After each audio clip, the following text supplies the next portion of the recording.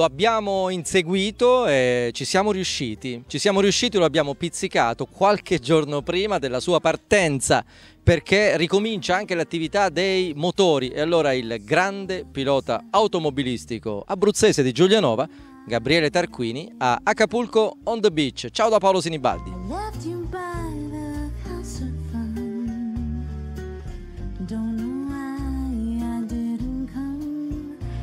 Gabriele Tarquini, ti era mai capitato di fare l'intervista così? Mascherina io, asta tu.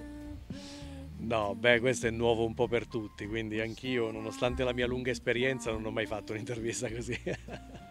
allora, cosa hai fatto in questi mesi? In questi mesi che sono stati lunghi, poi doveva essere una quarantena, ma è stata una quarantena moltiplicata tante volte.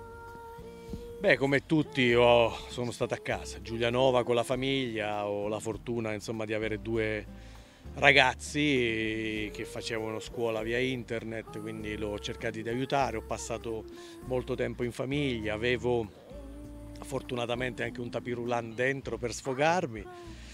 È una situazione strana un po' per tutti, anche per me, però insomma diciamo che io mi sono adattato bene. Adesso stiamo ripartendo, anche tu stai ripartendo perché ti abbiamo pizzicato proprio in extremis, eh, perché anche tu non vedi l'ora di riprendere l'aereo per andare beh, a provare, perché tu hai bisogno non tanto del simulatore come fanno i ragazzi giovani del, eh, dei motori, ma tu hai bisogno del volante, delle ruote, del motore, del, del sedile, no? Come, chi è che diceva che si guidava con il C puntini puntini puntini? Niki Lauda. Sì, Niki Lauda, sì.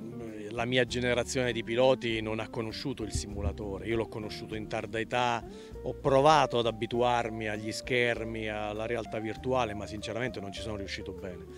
Eh, mi dà noia, soprattutto allo stomaco, non ce l'ho neanche a casa, quindi non ho potuto neanche riprovarci ho bisogno di viaggiare per provare perché la mia squadra, la Hyundai Motorsport, ha sede in Germania, quindi dal 15 sono riaperte le frontiere fortunatamente con la Germania e la settimana prossima, già dal 22-23, riusciamo a, a, fare il primo test. Sto sviluppando una macchina nuova che uscirà eh, per eh, l'anno a venire, nel, 2000, eh, nel 2021 e quindi riprendono finalmente le attività. Mi manca, mi manca il sedile, l'atmosfera della macchina da corsa, mi manca l'adrenalina che si sente, anche se le gare per noi sono ancora lontane, però ritornare tra virgolette un po' alla mia normalità mi farà sicuramente bene. Sarà una stagione completamente diversa, no? Perché eh, si ripartirà per quello che ti riguarda da metà settembre e poi ci saranno tante gare eh, in pochissimo tempo, in due mesi, quindi grande compressione, grande intensità e non si potrà sbagliare.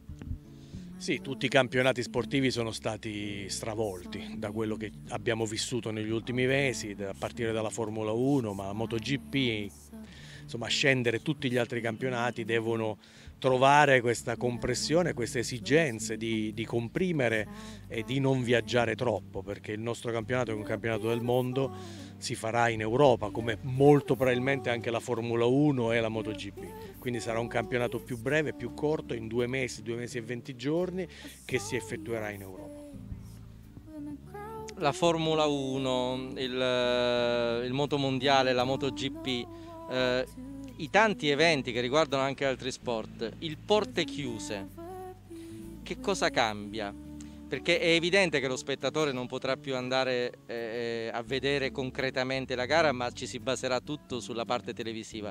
Ma per gli attori principali, per voi, per i protagonisti, che cosa cambia non vedere nulla se non gli addetti ai lavori sul circuito?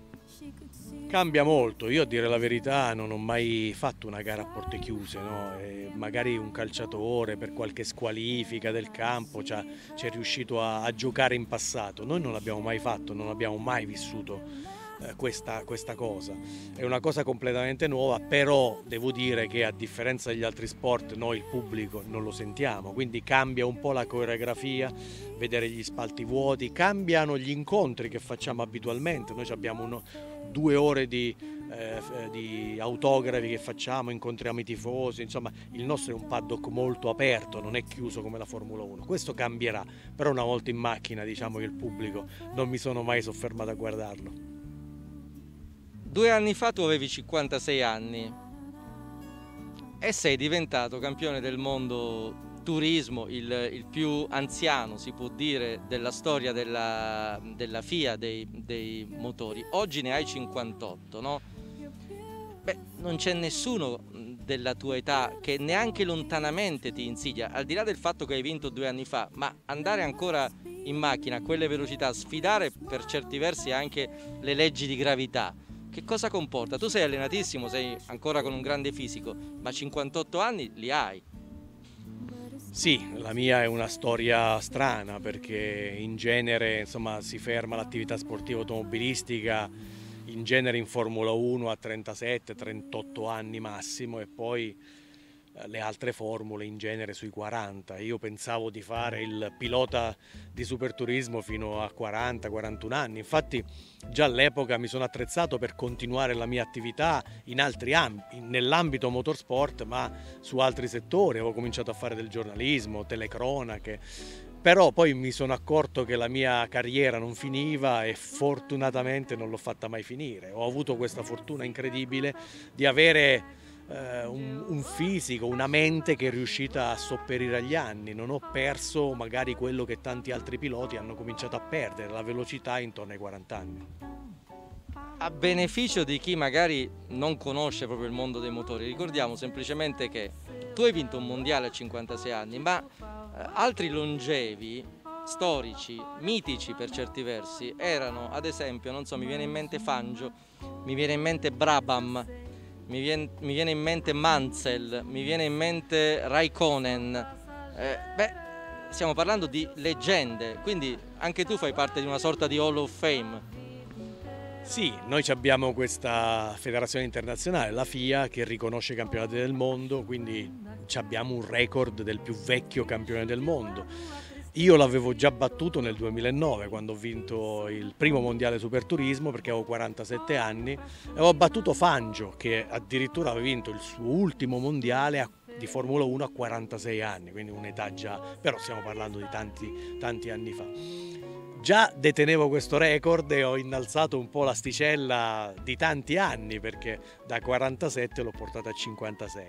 Indubbiamente è una fortuna, mi reputo una persona fortunata, al di là della bravura, del talento, ho avuto eh, qualcosa che madre natura mi ha regalato perché indubbiamente è difficile avere a quest'età eh, anche una prontezza di riflessi, una capacità di reagire a tutto quello che, che accade in macchina come un ragazzo perché i miei avversari qualcuno c'è sopra i 40 anni, ma in genere hanno 25, 28, 30 anni, cioè anche dei, dei diciottenni, quindi potrebbero essere addirittura, eh, non dico dei figli, ma quasi dei nipoti.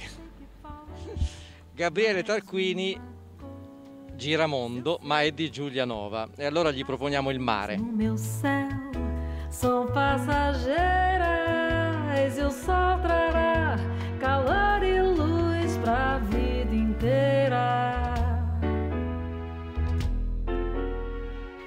Gabriele Tarquini, beh l'Abruzzo è, è terra di, di grandi piloti non solo Tarquini, ce ne sono altri, alcuni anche in passato forse dimenticati, però eh, anche attualmente. Beh sì, insomma dell'era moderna, io sono stato il primo ad arrivare in Formula 1, poi appena dopo di me c'è stato Jarno che ha avuto un'attività e anche una fortuna diversa perché in Formula 1 Jarno ha fatto delle vittorie, delle conquiste importanti e poi subito dopo c'è stato Tonio Liuzzi, quindi indubbiamente una piccola regione come l'Abruzzo avere tre piloti di Formula 1 nel corso di vent'anni è stato secondo me anche un, una cosa stravolgente, incredibile, no? perché noi non abbiamo autodromi, non, non c'è una passione neanche popolare eh, paragonabile a quella che c'è in Lombardia o in Emilia Romagna, quindi è una cosa abbastanza strana. Ora però in Abruzzo i motori non hanno eh, grandi gare, non hanno grandi eventi, a parte l'assenza di, di, autodromi. È rimasto praticamente come evento clou solo, non solo le svolte di popoli, ma anche lì con grandi difficoltà. Sì, questo per, perché non abbiamo una grossa tradizione, voglio dire, non c'è stato un trascinamento popolare per queste conquiste, sono stati più casi fortuiti. Indubbiamente quello che ci ha aiutato tanto è stata la scuola del kart, perché il kart in Abruzzo è invece molto molto popolare, abbiamo tante piste, alcune importanti e quindi questa scuola del kart ha fatto sì che piloti come noi arrivassero in Formula 1. Poi Sfortunatamente diciamo che attorno a noi non sono cresciute quelle infrastrutture, quelle, anche quella passione popolare che forse meritavamo per, perché insomma, avere tre piloti eh, di Formula 1 in una piccola regione come l'Abruzzo poteva essere un una cosa importante per crescere anche come movimento. È vero che da ragazzino ti chiamavano il cinghiale? Immagino perché, perché eri grintoso forse, no? No, mi ci chiamano tuttora. Nel eh, motorsport il mio nickname, il mio soprannome è Cinghios me l'hanno affibbiato tantissimi anni fa per la mia, diciamo, aggressività in gara. Quindi questa, questo nomignolo mi è rimasto attaccato. Nella vita di tutti i giorni invece come sei con, con, le automobili? Cioè vai in giro con automobili normali oppure sportive oppure sei un amante anche della velocità, non so, sulle moto? Com come sei nella vita di tutti i giorni, motoristicamente parlando? Beh, diciamo che adesso una maturità un, degli anni diversi, è chiaro che anch'io sono stato un po' tra virgolette scapestrato in gioventù perché questa passione ti porta a essere esuberante, però quello che ci ha frenato molto a ragazzi come me è stata la pista, noi riuscivamo in pista a sfogare i nostri istinti, quindi in strada sono stato sempre abbastanza prudente, lo sono ancora di più perché adesso ho un'altra età adesso. Sei giuliese, qui sei a Pescara in questo momento, ti, ti piace immagino il mare qui perché comunque è, è lo stesso mare. Eh, Giulianova come Pescara, come un po' l'Abruzzo, è terra di tanti sportivi. La tua Giulianova in particolare è ricchissima di grandissimi interpreti in tanti sport. Sì, infatti ci accomuna eh, non solo il mare, Giulianova e Pescara, la passione per il calcio, ma la passione in genere per tutti gli sport il mare è quello, la spiaggia è simile, la sabbia è la stessa, quindi indubbiamente abbiamo la fortuna di avere questa, questo grosso bacino no? che dà anche sfogo, soprattutto in tempi duri come questo, insomma venire al mare ti dà una boccata d'ossigeno. Eh, andiamo verso la conclusione, sei, sei fiducioso?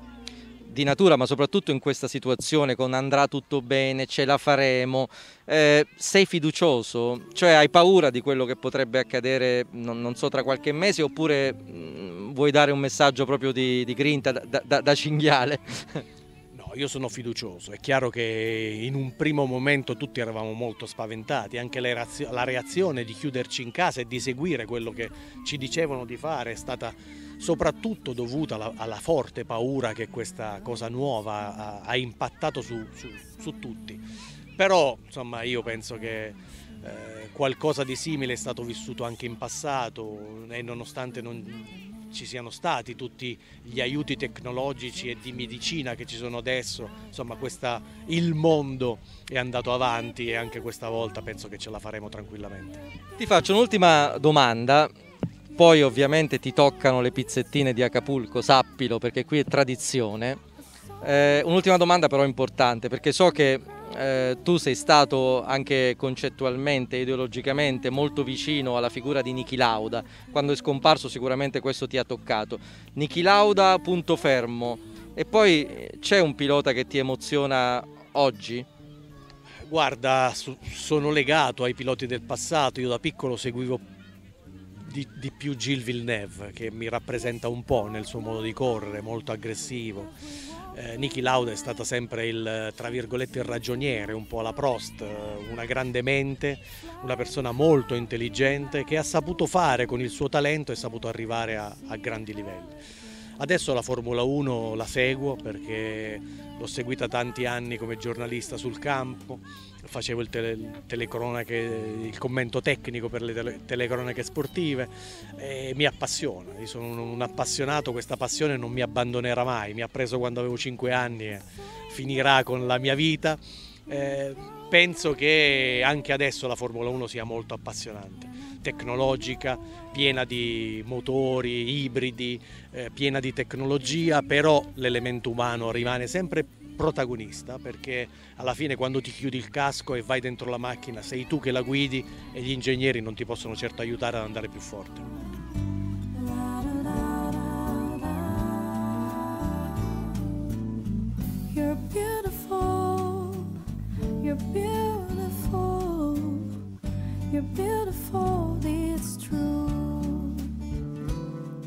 There must be an angel with a smile on her face when she thought up that I should be with you. Non ci resta quindi che seguire il campionato mondiale di superturismo, di automobili e cerchiamo ovviamente di fare il tifo per lui, per Gabriele Tarquini, che anche quest'anno sarà alla guida della Hyundai che lo ha reso campione del mondo ancora una volta due anni fa a 56 anni, record del mondo.